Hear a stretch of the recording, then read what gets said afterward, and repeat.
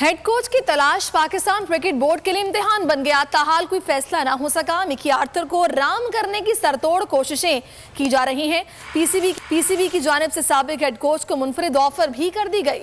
शाहीनों का उस्ताद किसको बनाया जाए? पाकिस्तान क्रिकेट बोर्ड ताहाल कंफ्यूज हतमी फैसला अब तक न हो सका। पाकिस्तान क्रिकेट बोर्ड के लिए हेड कोच फाइनल करना इम्तिहान बन गया। मिकी आर्थर को राम करने की सरतोड़ कोशिशें जारी हैं। सबक कोच को काउंटी और पाकिस्तान की एक साथ कोचिंग करने की ऑफ़र भी कर दी गई। वाहिदा तय पाने की सूरत में मिक्की आर्थर बैक वक्त डरबीशायर और पाकिस्तान के हेड कोच होंगे। इंग्लिश सीज़न खत्म होने तक वो पाकिस्तान टीम के लिए सिर्फ़ वीडियो लिंक पर दस्तियाब होंगे। मुमकिन तौर पर वो एशिया कप, श्रीलंका सीरीज़ में भी कौमी टीम के हमरा नहीं होंगे। असिस्टेंट कोच ज़िम्मेदारी संभालेंगे। मिक्की आर्थर अपना कोचिंग पैनल भी खुद तश्कील देंगे। 2022 बहुत सारे तोहफे भी देखे गया पाकिस्तान की आवाम को।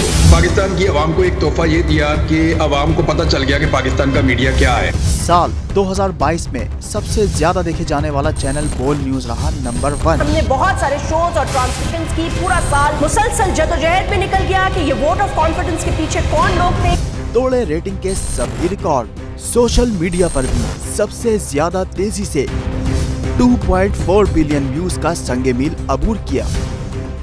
एंकर्स को भी आवाम में सबसे ज़्यादा मकबूलियत मिली और सोशल मीडिया पर भी बोल रहा सब पर भारी। सब्सक्राइब करें और बेल दबाएँ ताकि कोई खबर रह न जाए।